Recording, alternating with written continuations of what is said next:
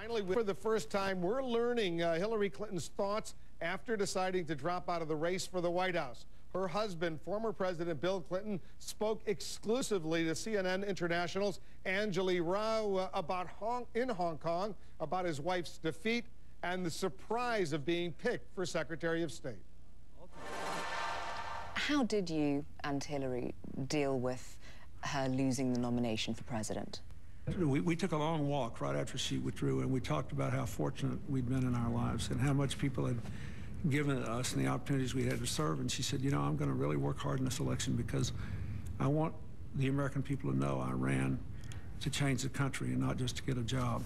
And so uh, she made it easy for us to deal with it well because she dealt with it so well. And, and if you look back, at least in modern American history, as far as I know, there's no precedent for the amount of effort she put out. And I must say, she didn't do it with any thought of becoming Secretary of State. I think she was shocked. She first read about it in the newspaper, the speculation. Really? Yeah, and she, uh, uh, it was, I think, a very wise decision by the president-elect, and I think she made the right decision.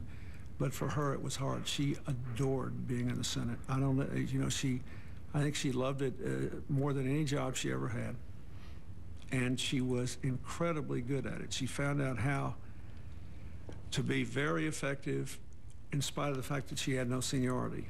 So I, you know, I'm very pleased by it. But we we dealt with it basically by being grateful for the lives we've had and realizing that it was an enormous opportunity to change the country.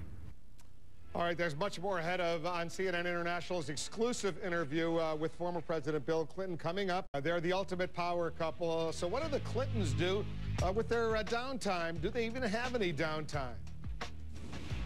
We like to take hikes, go to movies, read books, and hang out. That's what we really. And so the only thing I hate is that we don't have that time now because she's got a new job to prepare for.